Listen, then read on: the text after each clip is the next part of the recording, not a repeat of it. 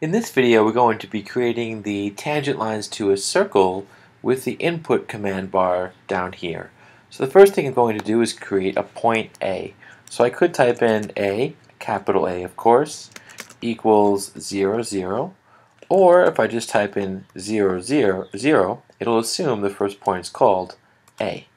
And then it will follow, like for B, I could put 3, 0, and it will assume that point is being called B. Now what I want to do is create a circle with a center of A through point B. So I type in circle, right, brackets capital A for point A, and capital B for point B, and I hit enter. And it creates the circle. And now I'm on my way. So for C, I want to point outside of the circle. I'm going to type in C equals, let's say 5, 4. Now I could have just typed in 5, 4 because this point would automatically be named C, but I'm just typing in the point as C.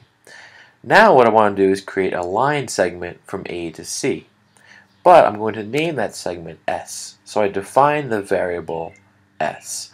Lowercase letters are reserved for variables. So I type in S equals, right, segment, and then I go from point A to point C. And that's nice because now when I type in the midpoint, I want to find the midpoint of that line. I type in midpoint, and then I type the midpoint of S. Oops, I spelled midpoint wrong. Going back, I wrote midpoint, so fix that midpoint of S.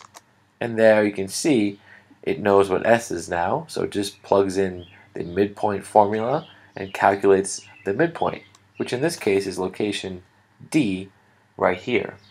Now I want to create a circle with a center D going through point C. Let's call this circle, I don't know, D. So this is circle D, and that makes sense. You can see, I guess here, they label that the first circle, they call it circle C, and there's the formula x squared plus y squared equals 9 for that circle. So it makes sense then, then to call this next circle D. So D is going to equal a circle with a center of point D going through point C. Right? And there we have our circle. Now I want to intersect the two circles. So I type in intersect and my two circles are circle C, lowercase, and circle D. And there you can see it shows us points E and F, which are the intersection points. And now to finish and create my line, my lines, my tangent lines, I just define those two lines. So I have a line going from point C to point E, uppercase, and then a line going from point C to point F. And those are my two tangent lines. Let's just go back a moment and have fun. I'm wondering, because I'm, I'm learning here too, because our first circle was C, will it automatically name our second circle D? Or do we have to name it as the as D? So let's try that. So if I create a circle with a center of D going through C, what happens? Oh, yes, it does. Automatically names it circle D because our first circle was C. So that's an automatic process as well. Very nice. All right, thanks.